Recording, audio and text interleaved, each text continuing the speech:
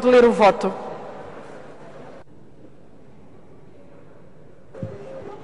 Faleceu no passado dia 23 José Manuel Nisa Antunes Mendes, José Nisa, como por todos nós era conhecido.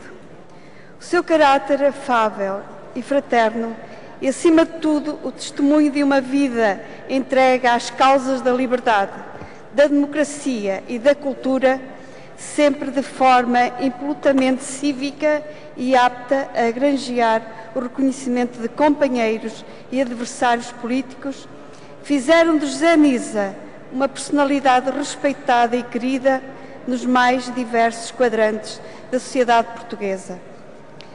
Foi deputado em vários mandatos, primeiro à Assembleia Constituinte e depois à Assembleia da República.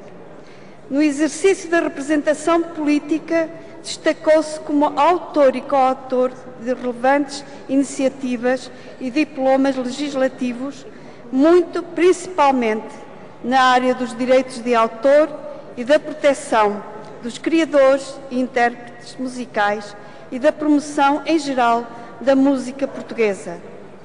A morte veio, aliás, e significativamente, encontrá-lo na presidência da mesa da Assembleia Geral da Sociedade Portuguesa de Autores, para cuja renovação ativamente contribuiu. Além disso, José Nisa desempenhou ao longo da sua vida importantes funções públicas, desde a presidência do então Gabinete de Planeamento e Coordenação do Combate à Droga a diretor de programas da RTP, passando pela presidência da Assembleia Municipal de Santarém, cidade e distrito a que tão profundamente se encontrava ligado.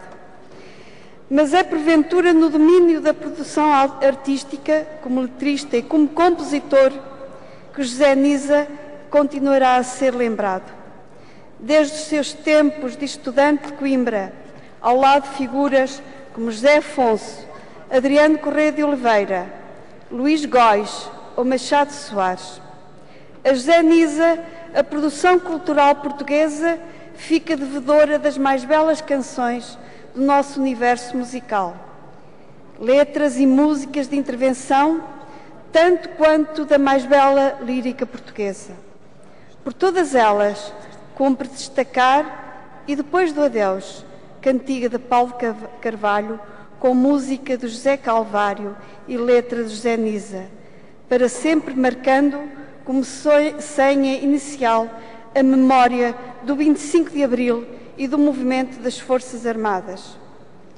Por tudo isto e o mais que não cabe num voto de pesar, a Assembleia da República invoca a memória de José Nisa, o valor do seu exemplo e do seu legado, e apresentando à sua família à Sociedade Portuguesa de Autores e ao Partido Socialista, de quem era militante, as suas sentidas condolências.